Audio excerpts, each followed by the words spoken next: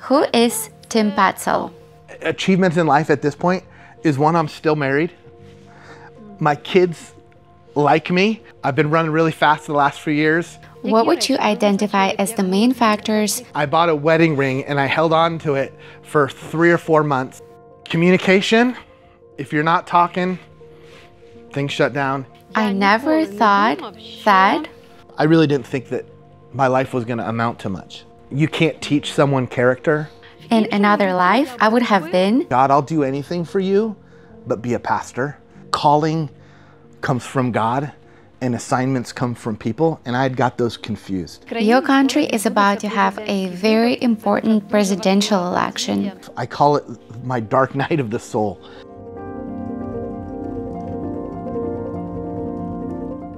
We are very happy to have this conversation with you today, and we'll start with introductions. If you were to introduce yourself, who is Tim Poetzl? It's such an honor to be here with you today, and uh, to be in the country of Ukraine is so meaningful, especially in this challenging time. Who am I? Who is Tim Poetzl? I'm a disciple of Jesus, first and foremost. I'm a husband to my wife, Anna. We've been married 23 years.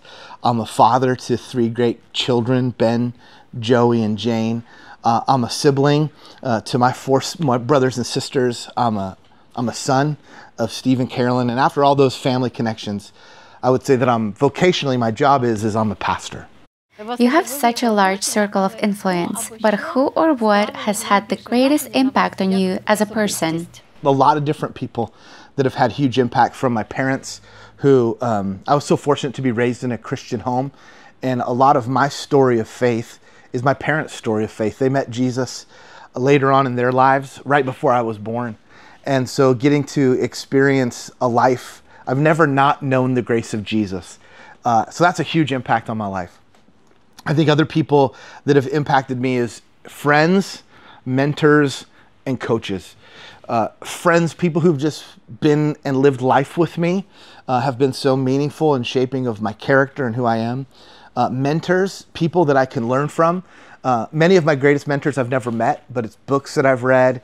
Um, even people who've from ancient times of the scriptures of, of learning from mentors and then coaches has been really important for specific areas of growth and development to find somebody who has further along in a journey in a specific area and get some specific coaching around skill development um, some things that i need to learn. All of those together have been some of the most influential.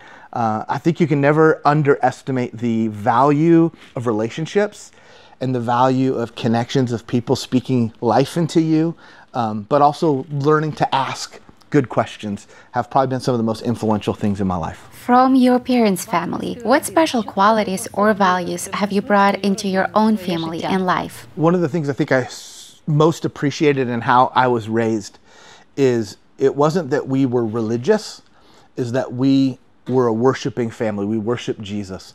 And I saw my f- parents put their faith into action. Um, we did big, scary things for Jesus. I watched my dad at 30 plus years old with five kids leave his vocation as an educator and become an unpaid intern at a church and then plant a church with five kids and having no money but trusting Jesus. So that that that utter reliance on Jesus and having to trust Jesus, not because it's just a, a, concept or an ideology, but it's the very essence of life is is following and worshiping Jesus. And then a consistent pattern of worship, not just church attendance, is we we as a family would gather and um, learn together, devotions, uh, have dinner, we'd read the scriptures together. So it was so formative to our lives that it became the air that we breathed was the journey of discipleship, even from young children. And for my wife and I, as we had our kids in those early years, I wanted to discipline them. And I remember the Lord began to show me and remind how I was raised that my job's not necessarily to discipline my kids, but to disciple them in the ways of Jesus. What do you consider your greatest achievement in life? Achievements in life at this point is one, I'm still married. My kids like me. Uh, even just be a few weeks ago, we all got to spend time together. We have two kids who are 20 and out of the house. Um, I think those are great accomplishments. I know many people whose wives don't like them and their kids don't want to be with them.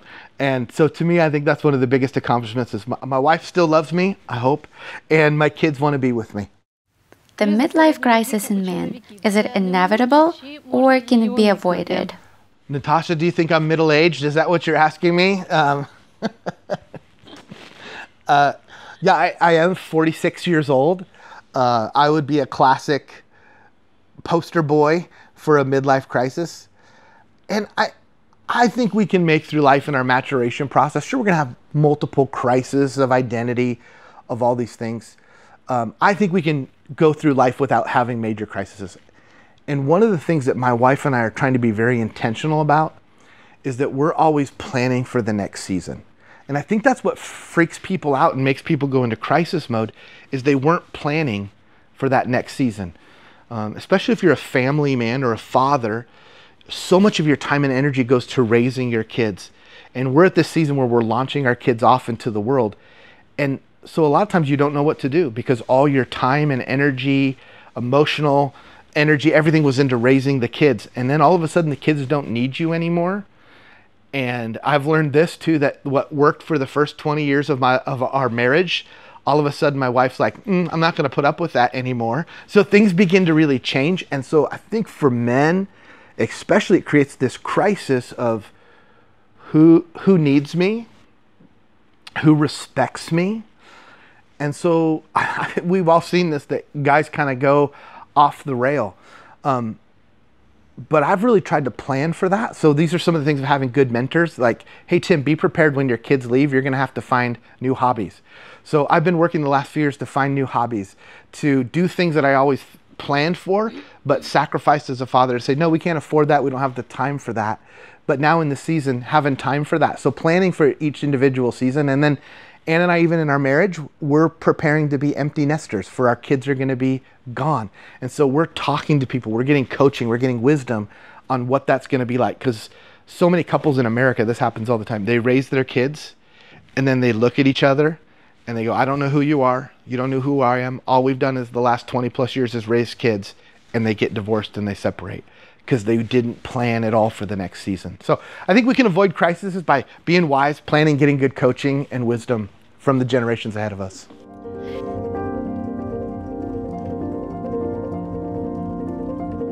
I never thought that I'd be in Ukraine. My biggest challenge right now is. Oh man, I thought I had something. My main challenge is trying not to get old too fast. What would you say to your wife on your silver wedding anniversary? We made it! My greatest fear is that I would be perceived as not working hard enough or not stewarding my life well. Who would you never work with on a team? People who take themselves too seriously drive me crazy. In another life, I would have been probably entrepreneurial business person. My heart right now is my heart right now is launching our children into the world. Your word for this year is pace. Uh, I've been running really fast the last few years, and my word of the year 2024 is pace. I think of the scripture in Genesis where it says, walked with God in the cool of the day. I feel like I've been running, and it's time to walk with God.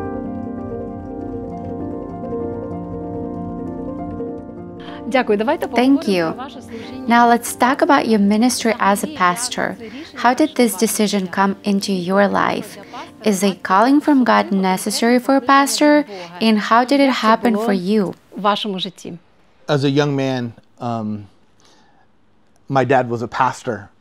And I remember some nights there were people at the house, I think it was the church leadership, were downstairs in our home and they were yelling at my father, disappointed he wasn't doing a good job, frustration. And I remember as a young boy laying in my bed saying, God, I'll do anything for you, but be a pastor. Yeah, this, this journey of calling and assignment. That's kind of the way I like to put it. Do we feel a sense of calling from God? I would say yes and no. Part of my story is I was a young uh, pastor in my early 20s. Anna and I had been married for three years, and we were doing college ministry, working with university students. And we thought that was the course and trajectory of our lives. We loved it, saw great fruit. We saw God grow a small group of people to over 500 college students that were meeting on Friday nights, and God was doing amazing things. Uh, young men and women were meeting Jesus. We, we thought that that was going to be our lives. And then one day I went into the office, the church we were working at, and the pastor said, I'm sorry, Tim, we have to let you go. Um, and I was fired. And it really derailed my life. I call it my dark night of the soul. Um, because I thought everything that I had hoped for, everything that I had dreamed, all the callings and hopes and ambitions that I had were gone like that in a moment. And, and, we had just had our second child, so I didn't have a job. I didn't have a vocation. I didn't have a calling. I didn't have a purpose. It was, it was really scary for me. I remember uh, I didn't sleep for a long time, for, for several weeks, just with all the anxiety and fear. And I remember I scared Anna because she was so concerned for me. It was such such a dark time in my life, but God began to shape me through that darkness. And here, here's what He taught me: is that calling comes from God, and assignments come from people. And I had got those confused. And my assignment was to be a college pastor, and that was taken away because of circumstances out of my control, change in leadership, financial situations, and and so that was devastating to me. But what God began to shape through that dark time was a sense of calling. And what I kind of went through that process, here's what I came out on the other side. This is what my calling is. Is I, I really believe that for my family, for me, our calling is to serve the local church. And so we, we've just done that for the last 25 years of our lives, whether it's traveling around the world, whether it's serving in our congregation. Now, my assignment at this season of my life is to serve at Stanwood Foursquare, which is one unique expression of the local church. But one day that will end. Either I'll get too old and I'll have to retire, either I'll, um, the, cha- the, change of leadership could say, we, we want a different pastor. Um, I could make a mistake, I could fail morally. And those would be decisions that either myself or others would say, that's changing.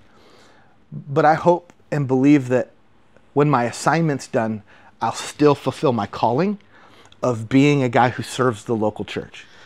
I want to ask you about the difficult moments in your ministry. The picture may not always be perfect, and you may not always be content with yourself. How do you handle such situations when things are tough and you don't achieve what you strive for? I think I've learned that either you're in a difficult season, you're coming out of a difficult season, or you're heading into a difficult season. I think Jesus even says this. He says, In this world, you'll have challenges, you'll have troubles, but take heart, I have overcome the world. And I think it can be dangerous for us as disciples of Jesus that often we think if I'm experiencing resistance, pain, sorrow, that something's wrong. I think that's just the nature of the broken world we live in often. And so, even that mentality helps us to have more resilience and strength to go through difficult times versus just always feeling like, oh, woe is me, everything's so challenging, everything's so difficult. Different seasons, I think, require different things.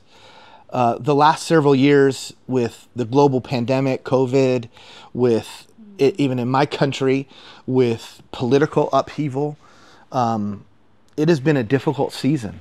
I've had to learn new skills of a couple of things is one is resilience is is learning that part of the nature of what Jesus has done in me and his spirit that if we really believe that the spirit of God is in us that it's not about how strong I am or how much I can accomplish or not accomplish but it's that the spirit of Jesus the resurrection power of Jesus lives in me and things will be ta- hard things will be difficult but that power lives in me and I can have the the strength of God to be resilient, to bounce back. Um, I also have learned, especially over the last few years, that there's something so important about, I think, leaders, disciples, believers always coming back to joy. That somehow one of the characteristics that has defined the people of God for 2,000 plus years is this ability when life is hard, when circumstances are difficult, when you're in exile, is that our circumstances do not dictate how we feel. and we can be a people of God. I, I think even in the country of Ukraine, I, I hope I, I'm, I, I'm not a nation of war, but how do we have joy in the midst of pain and sorrow? How do we have this joy that Jesus promises us, that the Apostle Paul writes about in his suffering and his sorrow and his persecution? And there's just something of resilience and joy that I think can sustain us through difficult times. And then sometimes we need help. I think coaches, mentors, and friends have really been sustaining through difficult times as well. Дякую, що поділилися. Thank you for В sharing. біографії In the biographies of many people of God, there was often a significant moment that radically changed them, transforming them from confident leaders into humble servants of God, described as people with a good pastoral and fatherly heart. це людина з таким We're talking about this brokenness. батьківським серцем. Was there such a moment in your life or not? Чи була така подія у вашому житті, чи ні? for sure I've been broken and restored many times. But but even for me, I think uh, as a young boy, I was 10 years old. Part of my story that I think so speaks to this. Uh, I had severe learning disabilities and um, was in special classes through the early years of my education. Uh, my my little brother, younger brother, was super smart. He would go to the special uh, higher smart kids class, and I would go to the kids class that needed special help. And so, as a young boy, even in eight, seven, ten years old, I felt very stupid. I felt low self worth. Um, I, I, I really didn't think that my life was going to amount to much. And at 10 years old, God kind of began a, a miracle in me. I met a teacher who helped me, and I learned to read at 10 years old, which is really late in the process. And I had repeated multiple grades, and um, but God began to do a restorative work in me even at a, a young age. So that's that's sure a part of my story of, of just resilience and learning to figure out how to survive and be confident when we feel insecure, when we feel unintelligent, like we don't have the answers. That that's a part of my story. But I think part of what shaped me has been maybe not big events. Sure, I got fired from a job at a church, but for me, it's been a lot of little being crushed and being restored. I think every season of life, there's these moments where we get to choose God's transformational work in us. And He loves me so much that sometimes He won't save me from the consequences of my actions. And so, my lack of wisdom, my lack of maturity, um, I have to suffer those consequences and I have to learn and grow through that. And I think that's the nature of, of transformation, the nature of discipleship, is that we, we take a step forward and we run into resistance, we run into difficulties. Sometimes we have to take a step back, we have to learn new skills, be humbled, learn to not rely on ourselves, but learn, learn to rely on Jesus. I wish the if for the life of a disciple that growth looked like you start here and it's just up and to the right. It's just this linear line but I, I think for all of us, my life too, is it's just much more all over the place. You you kind of grow flat and then you run into difficulties and God transforms you and you grow. Sometimes it's all these crazy journeys that lead us into different places. And that's often where people get distracted as a pastor and discipling people when an uh, you know a curveball comes, something they didn't plan. Either that's going to help you grow or it's going to derail your process. And as a leader especially i think you have to learn to say there are things in my life that has to die and then there are things that have to experience the resurrection power of Jesus. So that on the other side of that is something new and better than I could have ever even thought or hoped for.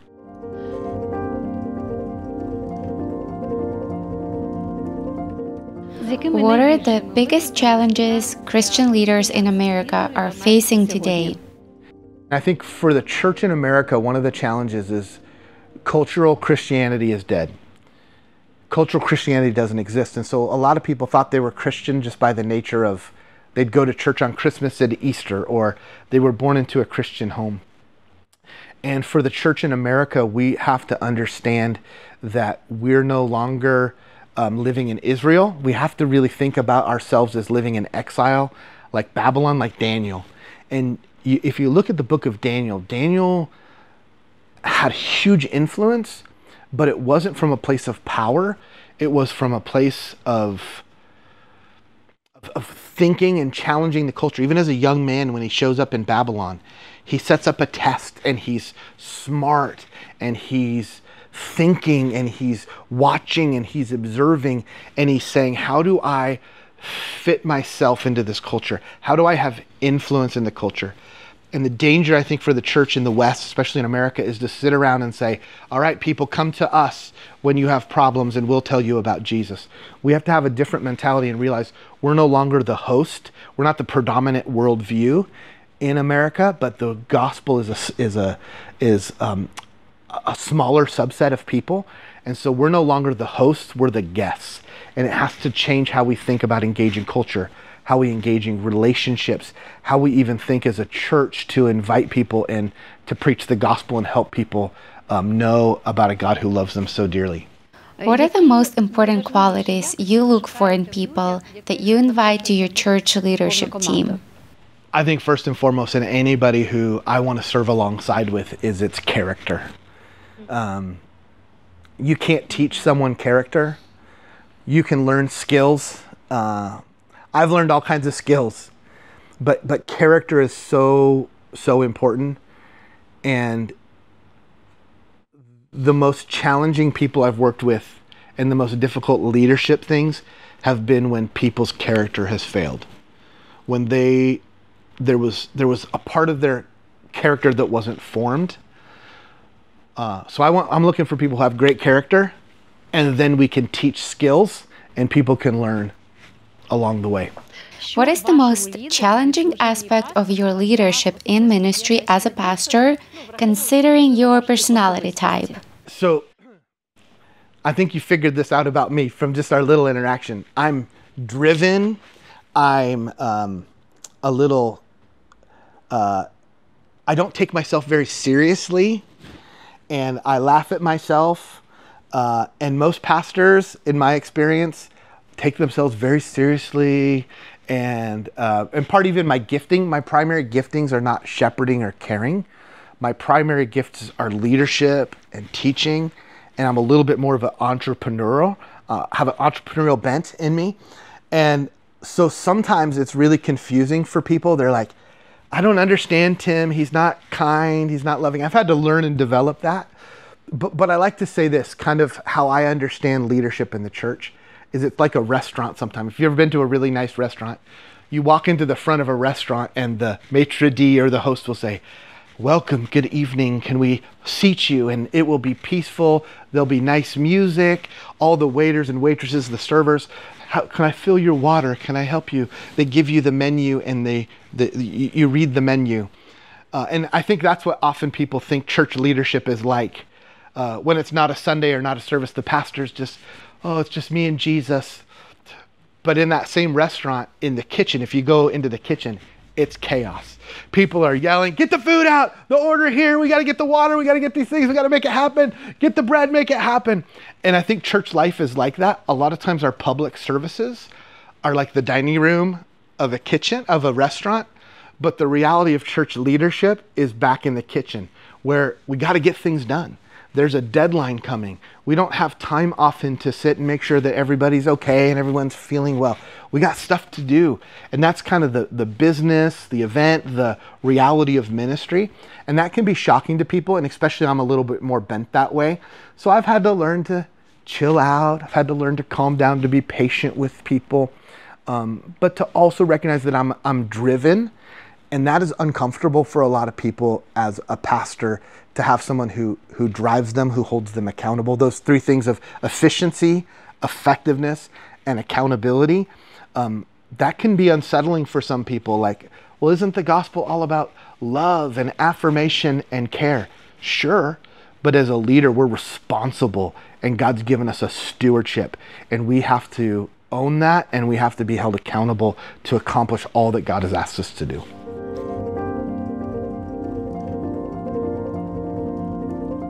How did you know that Anna was the one? And after years of marriage, what do you value most about her?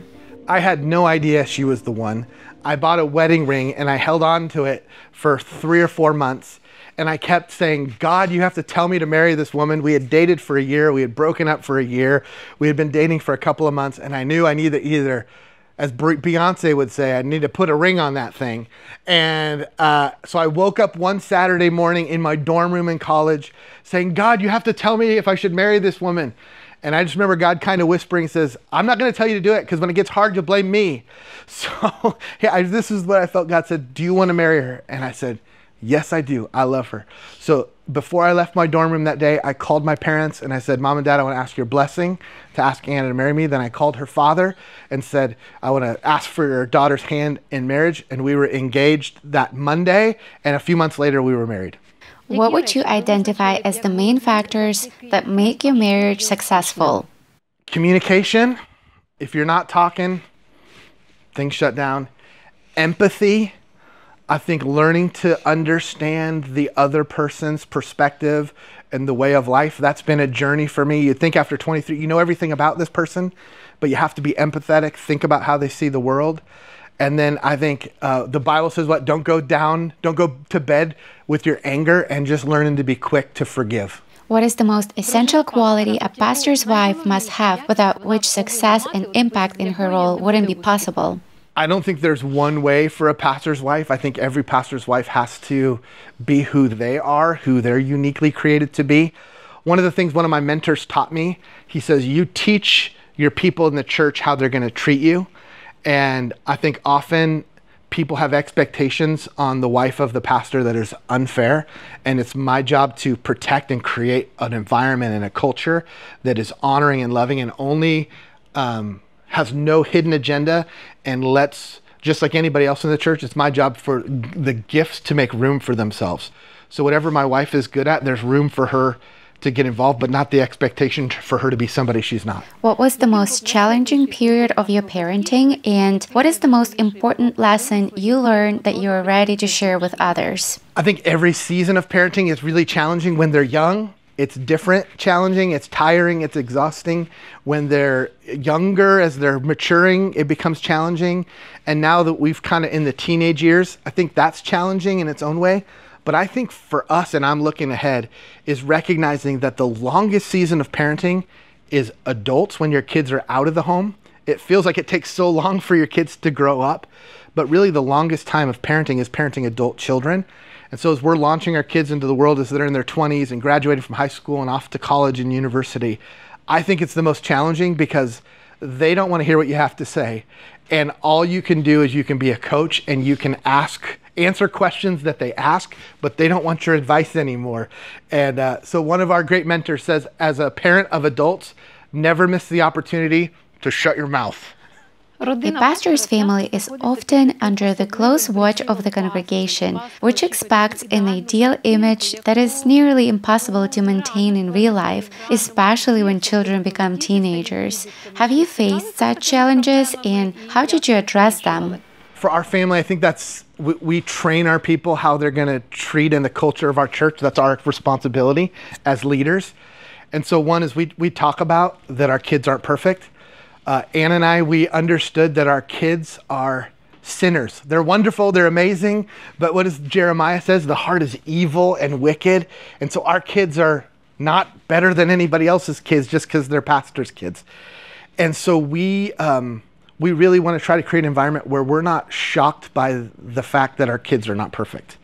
So when they choose righteousness, we're really excited about that, but we're not crushed when they exert their own free will. Our kids have free will, they have their own choices, and they have to be responsible to God. That's what Ann and I ultimately have prayed every day of our lives, for our kids' lives, is that they would be accountable to God. What is the main piece of advice you give to young couples at their wedding? Be ready to have multiple marriages inside of a marriage. I think people get really stuck when they think that after they have kids, they'll be able to go on dates and be all romantic like they used to be. Kids change everything. So you're going to have a, a, a, marriage before kids, you're going to have a marriage with young kids, you're going to have a marriage with older kids, and then when you're done raising your kids, it's just going to be the two of you. So make sure that you have invested in your relationship because when the kids are gone, you're going to have to discover who each other is and you're going to have to like each other. Because uh, my wife often says this when it's all done, it's just going to be you and me. So you better make sure that we like each other.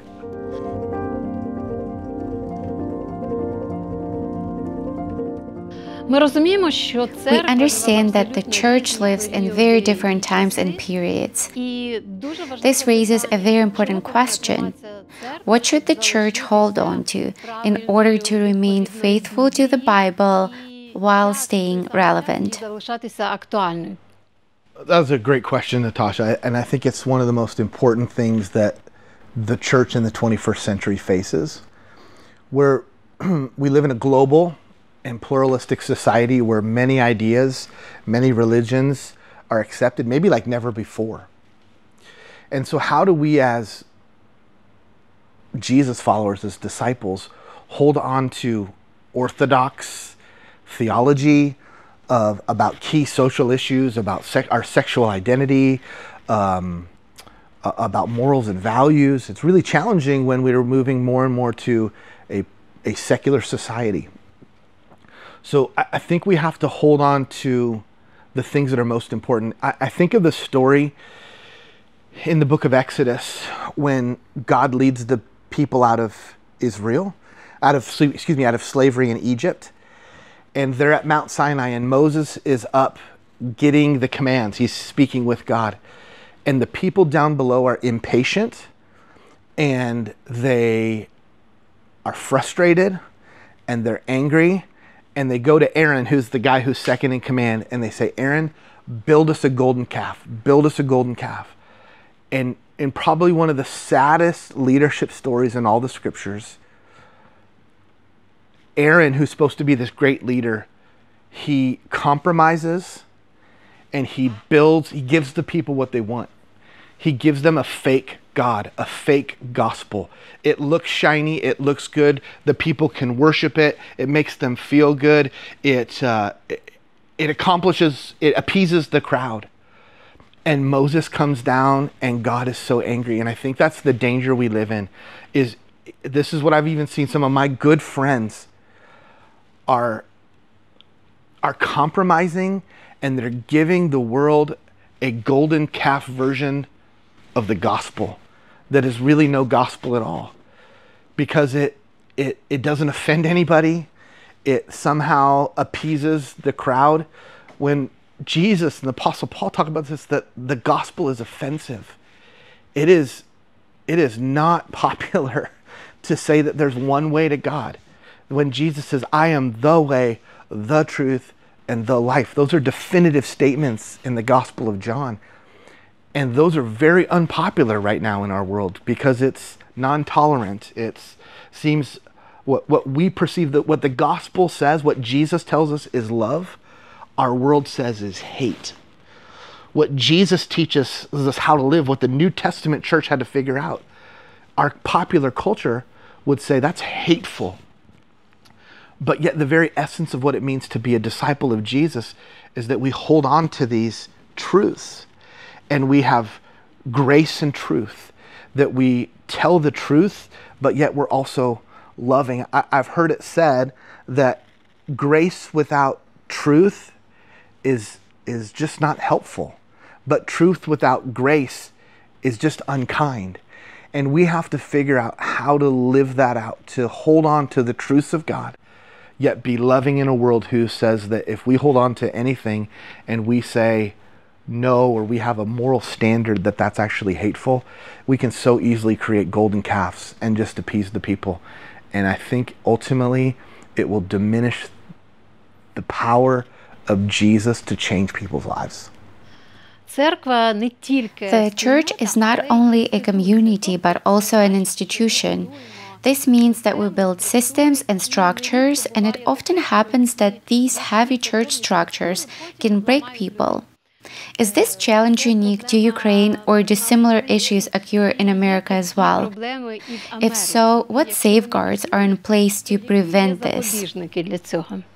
The church is a unique thing. It is it's an organization, there's a business component to it, but I think there's really a third way that Jesus invites us to and what the New Testament tells us about is the church is actually this living organism. Paul talks about it as the body. Um, so it's it's living, it's dynamic, it changes. So I think a couple things, especially for church leaders, is you have to recognize and give space and energy and time to the structure of the church. Because if you just think, I'm going to preach the gospel, I'm going to love people, you'll get eaten alive by all the business, the organizational, the infrastructure sides of things. And even Jesus dealt with this. Jesus had two parts of his ministry. He had a mission and the mission he proclaims, he, he stands up and he reads from the prophet Isaiah. He says, The Spirit of the Lord is upon me. Uh, he has anointed me to proclaim good news, to set the captives free, to open the eyes of the blind, to declare the year of God's favor. That Jesus came to do good things. To, he fed the crowds, he cared for people's physical needs.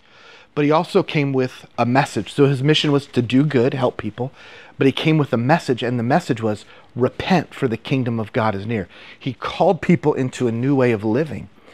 And for most church leaders, I think we spend all of our time, we get all of our training on the message of Jesus. We just think if I preach a great sermon, if I say repent because Jesus loves you, that everything will, will happen. But we, we have to understand that there's both the mission and the message. And if we just focus on the mission, then we just become an NGO, a non government organization. We just hand food out. We just do good things, which is not bad, but that's not our primary mission. Or if we just uh, are a place that just says, repent for the kingdom of God is near, we just do the message. The beauty of the church and when we do it right is when we have those together the mission and the message of Jesus together. Now, for a leader, that's really complicated. So, a couple of things. I think Jesus even recruited a team. He had 12 disciples. He had some guys who were accountants, tax collectors. It even says, uh, uh, J- Judas was actually the guy who was the bookkeeper of, of his ministry. And so Jesus even built a team of people to do both, to care for the mission and the message. And most pastors and leaders don't think about that. And we need to remember that part of how a church is going to function is we have to have systems in place. If you don't have systems in place, if you're not in charge of your systems, your systems will be in charge of you we, we just have three principles, three values in our church is that we're efficient, we're effective, and we're accountable. And those three things are kind of safeguards and a matrix for us to make decisions um, to help us really move forward in both of those things. But there's been times, you're right, when um, just the ministry of the church, the infrastructure is overwhelming, when you don't make everybody happy when they don't like what you're doing. We just went through a building campaign. We built a new building as a church, which is good. The church has grown and we needed more physical space. But it is a lot of work to build a new building and it almost crushed me. But you have to build teams around you and I think you got to be a little scrappy, a little entrepreneurial in a, in a uh, as a leader in the 21st century. Your church, what kind of people attended? We like to say we're a church that gets it done. Uh, we, even kind of say it colloquially, get her done. Um,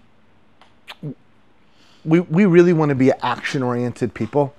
I think it's easy to sit and talk about Jesus, but, but they'll know you're my disciples by how you love each other. So I pray that we're a, a community of people who love each other deeply, but we also love our community and we put that love into action. Uh, so we do some crazy things like one Sunday a year. We call it Serve Our City. We take our worship to the streets and we partner with our city and parks and we take hundreds of people and we clean up the schools. We serve during the normal time that we would do our worship Sunday morning services. We engage people to serve our community and let the community know that we love them. Because the reality is, most of the people in our community are not sitting around thinking about church. So we have to remind them that we're thinking about them. I often make people very uncomfortable in my church because I'll say this that God hears your prayers just as much as He hears my prayers. And um, so we really want to empower people to be the ministers of Jesus. It's not just for the few. So our, our job, and then uh, Paul, the New Testament speaks a lot, especially in Ephesians. He says that the work of the pastor, the work of the leaders, is to empower the people to do the work.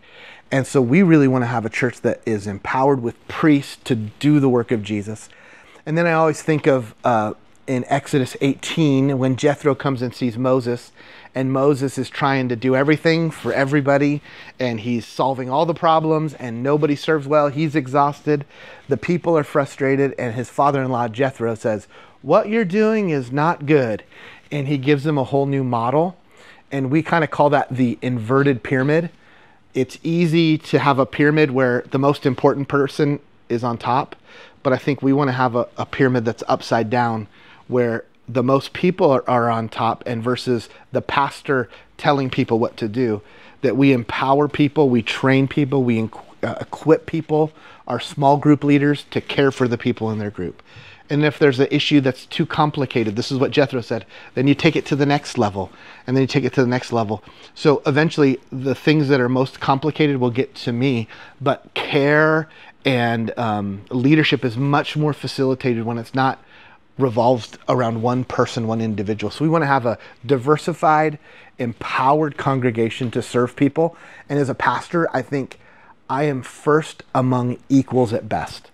So we we try to really not have a honor culture where the leader is I, I like to say this leaders eat last sometimes in some churches the leaders are the one who get all the benefit they're the one who are honored and I really think that as a servant, and Jesus, the New Testament even say this, is I'm a slave of Jesus.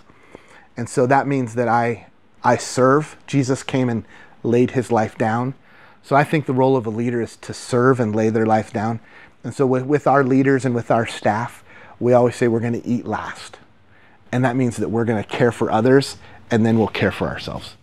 Your country is about to have a very important presidential election. Do you feel responsible for the decision your country and your congregation will make? And can you influence the formation of their values in this regard? Loaded question. That's not fair. Good question. I'll answer it though. Um, in my office above my desk, I have a note that says, God is in charge of who's in charge. And the early church dealt with this too. Is there were ungodly leaders, the Roman emperor, and that was one of the things that defined the early church is they said you got to bow your knee to emperor and say that the emperor is lord. And they said no. Jesus is our lord. So especially in the united states we have the freedom we have the responsibility to vote. But one of the things as a disciple and as a pastor i really lead our church in is i ask us that people have to vote their conscience and one party in a two party system like America, it's not one party is godly and one party is party is ungodly. People would disagree with me on that. But our allegiance, my allegiance, and what I want to communicate to the people I'm called to serve and lead is that our allegiance is ultimately to Jesus. And and that's where we're our, our faith is going to inform our politics. And one of the challenges that we're facing right now in the United States and the church in America is many people, their politics are informing their faith. And that leads us to a place that nobody wins. And so, whoever the president is going to be, I know for even like the country of Ukraine, um, that has huge impact. And I think there is a responsibility as America that God has put us in a unique place to be a blessing to the world around us. Even the nation of Israel, God says, I'm going to bless you to be a blessing. And I think in some ways that's a responsibility when God blesses you to bless other people. Um, so, luckily, in our party system, I think presidents and people outside of the United States think that presidents have much more power than they do.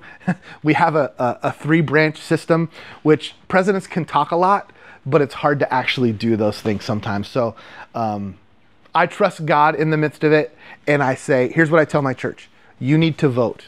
I'm not going to tell you how to vote but you need to vote. And that is the most important thing. As Christians, we need to be responsible citizens. We need to be participants. And I think it's easy to sit on the sidelines and complain, but you have a voice, you have a vote, and that means you need to participate in the system.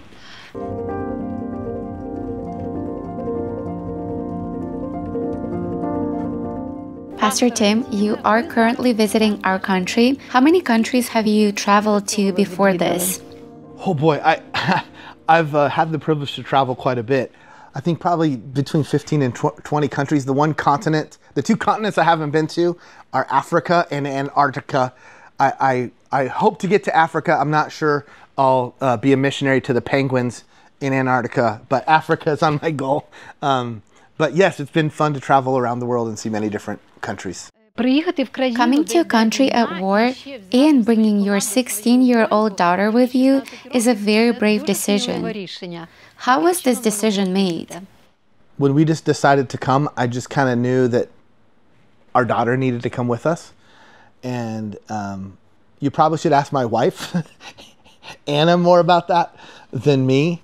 Um, but what I think this comes back to really our goal of discipling our children is this will be she'll remember this for the rest of her life. And one of the things that i've prayed for my kids every day it, it'll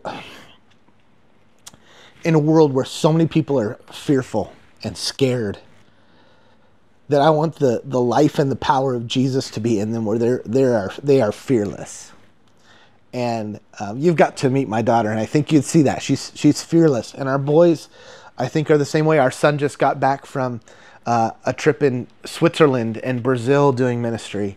Uh, our oldest son is doing eight weeks of summer camp fearlessly. You you ran summer camp. That's exhausting, and so we we've just prayed and we've instilled that we're going to be, if we're going to follow Jesus, we're really going to do it, and that means that we're going to sacrifice and we're going to go places where the gospel demands. Jesus always tells us to be consumed with the other.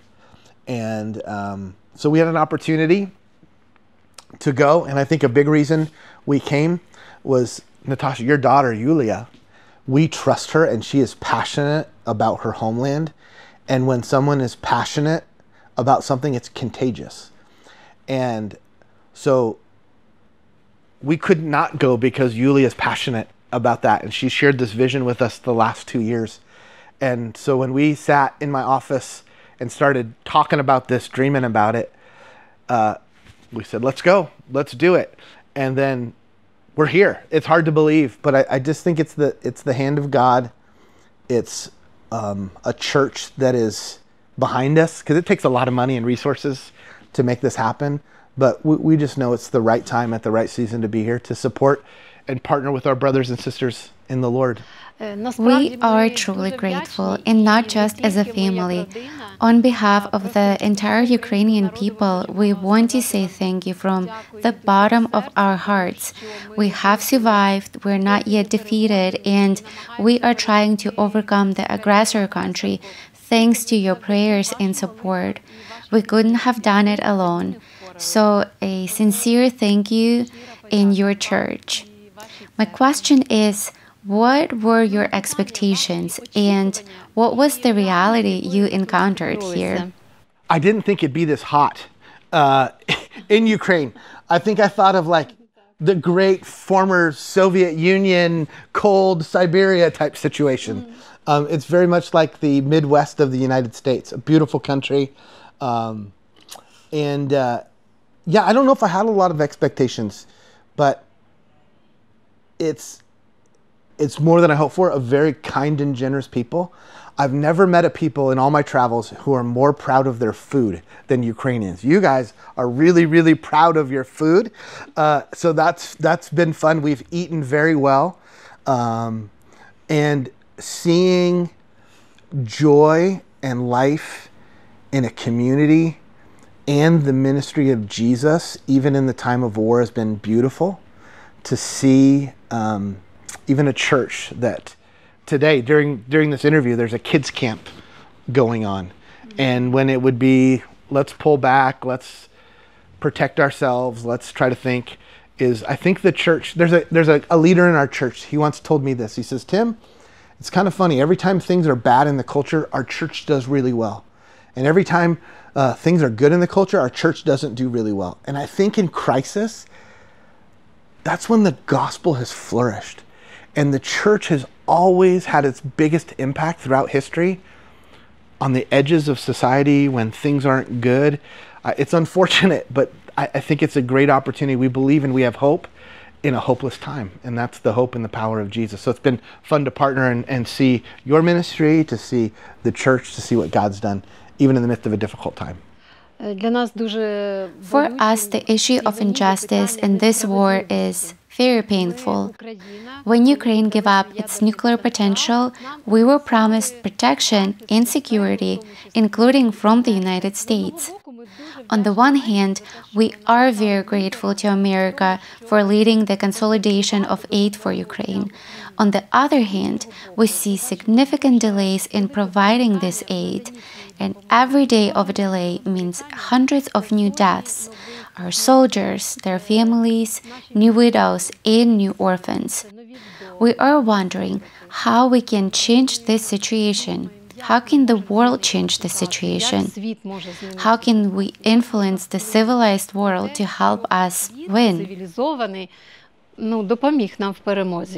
I, I can only answer that question in two ways. One is as a citizen, of the United States, and the other one I think that would inform me as a disciple. Th- those would be the two things. But you know, geopolitics is very complicated, and even our own nation's history is rooted of standing up against a great power that it seemed like there was no hope that we would ever get our freedom and independence from. You know, at that point, England was a massive empire, and the chances of seemed like America even becoming an independent, free country seemed very small. And I think it probably feels a little bit like that for Ukraine, a nation of relatively small 32, 38 million people, compared to Russia, a massive nation.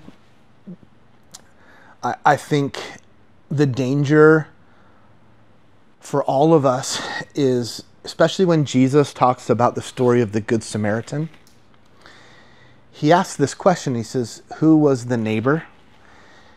And so, as a disciple of Jesus, I think we always have to remember that our neighbors are not just the person who's next to us, but every human being, every seven, almost eight billion people on the planet, we're called to care for and love. And it can feel overwhelming. Um, and even for us in our church, we, we've chosen to be involved here because we have a personal connection through relationships with people. There's other wars going on that the United States is very involved in in Israel and Hamas and other places around the world and those are things that I don't want to even pretend to understand all the complexities of that. But I think I come I come humbly and I come with I think a bigger awareness in this trip of understanding that it's easy to watch the news, it's easy to watch human suffering and think that that's really far away and it's distant. But I think what Jesus has done in me and what he requires his disciples to do is to remember that everyone's our neighbor. Whether it's Ukraine, whether it's Israel, whether it's nations all around the world that are dealing with violence and evil and unjust situations and unjust leaderships and governments. It, it's really challenging, and I think it requires great wisdom. It requires great humility. And he- here's here's here's what I know I'm going to do. After being with the Ukrainian people, and my heart is now here, I'm going to be on my knees praying now more. I I don't know if I have influence to change geopolitics, but I know this. I know that when I pray, God hears my prayers. And I think that's where I ultimately put my hope is not in an army, not in a political system, but my hope is in God and his kingdom, which is coming and we can put our hope and trust in one day Jesus will make all things right and all injustice will be will, be paid for and, and righteousness and God will eventually win in the end. That's a very difficult question. What would be the most important thing you'd like to tell Ukrainians at this moment? The word I'd leave for Ukraine is to don't give up, keep fighting, don't be discouraged. I know you're tired, um, but keep fighting. Don't give up.